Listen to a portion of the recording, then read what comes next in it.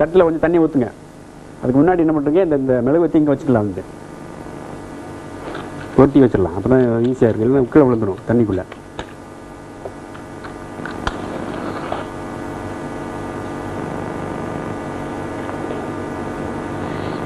இப்ப நேரமின்மை காரணமா நம்மளால நிறைய எக்ஸ்பெரிமெண்ட்ஸ் நம்ம பண்ணி காமிக்க முடியல. நம்மளும் ஆர்வமாக இருக்கிறோம். அவங்களும் ஆர்வமாக இருக்கிறாங்க. ஆமா.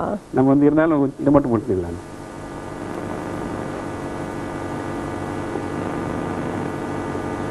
வச்சிட்டோம் இல்லையா? இப்போ கொஞ்சோண்டு இதில் தண்ணி ஊற்றுங்க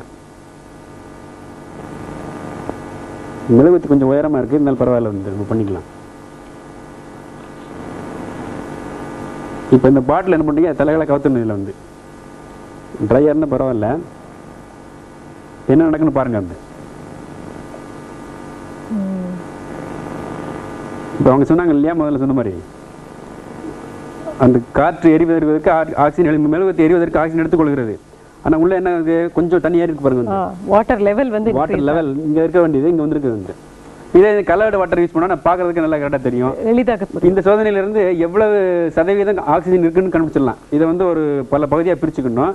ஒரு ஐந்து பகுதியாக பிரிச்சு வச்சுக்கோங்க. ஒரு மார்க் பண்ணி ஒரு கிராஃப் ஷீட்டை வச்சு மார்க் பண்ணிட்டு எவ்வளவு மேலே வந்திருக்கு அப்படின்னா அதுலேருந்து காற்றில் காற்று மண்டலத்தில் ஆக்சிஜன் எவ்வளவு பெர்சன்டேஜ் இருக்குங்க கூட ஒரு சோதனை கூட செஞ்சு பார்க்கலாம். அது வந்து அது